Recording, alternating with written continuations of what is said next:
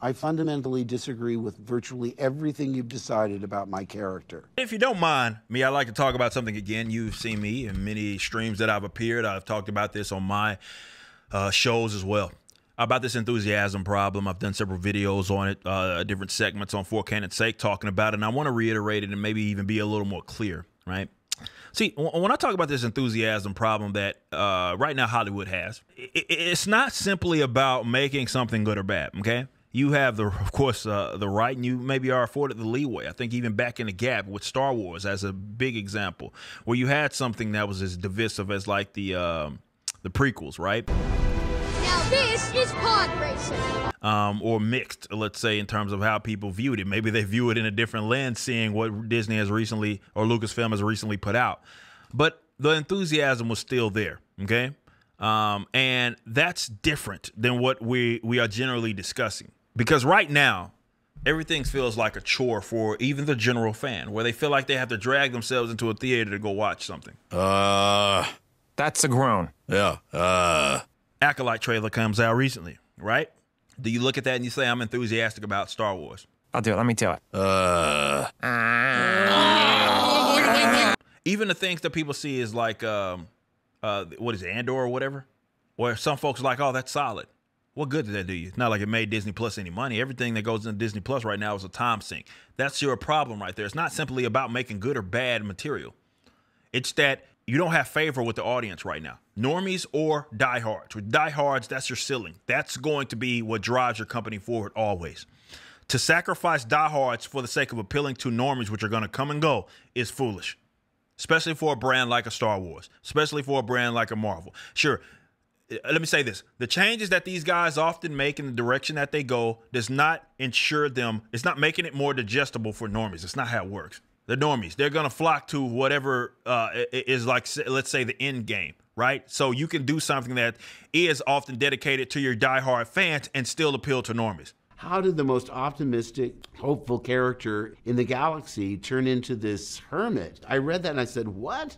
It's a complete myth to believe that you have to sacrifice certain things in this quality of a project or a movie or a game, even for that matter, for the sake of appealing to a wider audience. It's nonsense. The enthusiasm is just simply not there because you look at something, and even if you are one of those that goes and says, I'm going to go get Disney Plus and I'm going to watch this, oh, it was solid. I thought it was decent. That doesn't mean much because, again, it's not, you're not getting a return for it. The reason why you're not getting a re return for it is because people don't feel like it's even worth giving it a shot. I don't feel so good. Which is unheard of for certain brands. To, to know that a Star Wars can't just crap out money like that with the movies and, and, and even television and, and, and stuff, that, that's insane to me. Marvel right now is in an interesting spot. It's the same thing it's an enthusiasm problem. Now they will never admit that they are the part of the problem, right? Maybe they've let people uh, get in these positions that they never should have been in. Uh, maybe they're in, in, in control of certain uh, directions that they're going in, and it's not really conducive to um, uh, uh, making the product better because they don't care about that. It's just a stepping stool, stone, if you will, to go get to the next part of their career. Maybe that's the case. But people aren't watching this. They don't get enthusiastic about it. They don't say, "Oh man, let's let's have an entire fandom about this and, and let's talk about this with, with such excitement." And then afterward, maybe you feel a different way about it than I do, and that's cool. That's what fandoms were always about, us arguing about that type of stuff. But people aren't even having that conversation anymore. They don't care to have it. And I don't know if Hollywood can turn that around. They can't do it with new pro. Everything's outlier, right? Oppenheimer, Barbie, outlier. Outlier, not a thing that's going to be consistent. I, I don't think they can turn it around. I, I just don't think that they have the. It's a mammoth that they're controlling, and they have to pivot, and they can't. And uh, the people that are that, that, that absolutely have the power, uh, that probably focus on things that have nothing to do with entertaining their audience, they're in the power. They have the power. They're in positions of power. And they're not letting that go.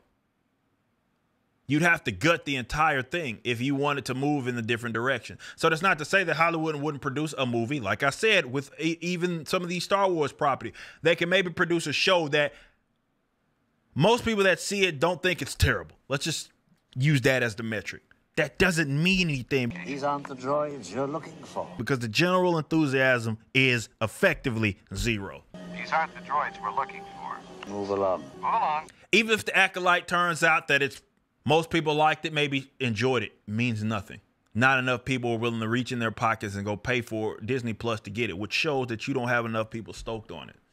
And I think that speaks to the damage that they've done to the brand and how the audience is kind of just chugging along. It happens in waves, this stuff, right? It goes up and down, which is why, little business lesson here. It's why you don't ever turn off your hardcore fans. You don't sacrifice your hardcore fans. You don't sacrifice your diehards for the sake of appealing to a wide demographic, which is, I think, some people would argue with Star Wars what Kathleen Kennedy wanted to do. See, you don't ever do that because the normies, they'll come, they'll go, they'll come and go. It's up and down with them.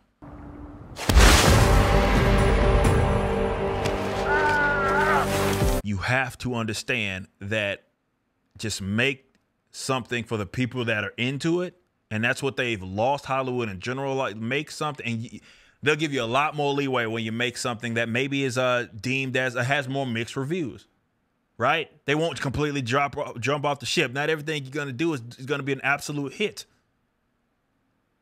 But you'll at least be in good favor. And that's what they've lost. And you see that in the just sheer lack of enthusiasm that there is for a given product. Could you imagine? They put out a Ghostbusters movie. And not to say that there aren't people that went to go see it. Of course, people went to go see it. But does it feel like it? No. And that's the point that I wanted to make. Thanks for watching. Right now, the Rippaverse is in the middle of our latest campaign, Yaira number one, which was written by the Saskas. Head over to Rippaverse.com, pre-order, and check out our first live-action trailer and the latest Rippaverse Studios production, Y'all Be Easy.